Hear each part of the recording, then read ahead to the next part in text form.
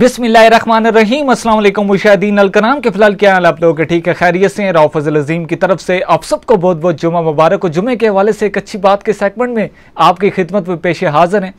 میرے ایک بھائی ہیں پاکستان کے اندر، وہ کاروبار کرتے فروٹس کا ریڑی وغیرہ بھی لگاتے ہیں۔ تو ان سے لاسٹ ٹائم میری ٹیلی فون کے اوپر بات ہوئی، تو میں ان سے پوچھ بیٹھا کہ آپ کا کام کیسا چل رہا ہے؟ تو آگے سے ان کا کام تھوڑا سا اوپر نیچے ہوگا تو دل برداشتہ انہوں نے کہنا شروع کر دیا کہ کام بہت برا ہو رہا اور یہ کام ہی بہت گندہ ہے۔ فروٹ کا کام کرنا ہی نہیں چاہیے۔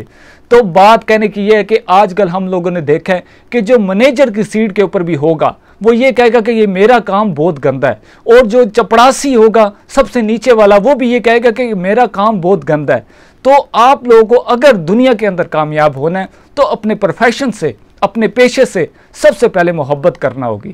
جس پیشے سے، جس پروفیشن سے آپ اپنے بیوی بچوں کا، اپنے گھر والوں کا اپنا پیٹ پالتے ہیں، اسی کو آپ لوگ گندہ کہہ دیں گے۔ دیکھیں، زندگی ہے، نشیب و فراز بھی آئیں گے، اوپر نیچے ہوگا سب کچھ۔ لیکن اگر آپ لوگ دنیا کے اندر کامیاب ہونا چاہتے ہیں، اپنے پروفیشن کے ساتھ سب سے پہلے پیشنیبل ہونا لازمی ہے۔ تو اس چینل کے تھرو ہم آپ لوگ کو یہی کہیں گے کہ اپنے پیشے سے بہت زیادہ محبت کریں، کیونکہ جس سے آپ لوگ روزگار کماتے ہیں، اس سے محبت کرنا سب سے اہم ہے۔ یہی اچھی بات ہے سوچے گا، لازمی فالو بھی کیجیے گا۔ راؤ فضل عظیم کو دیجیے اجازت۔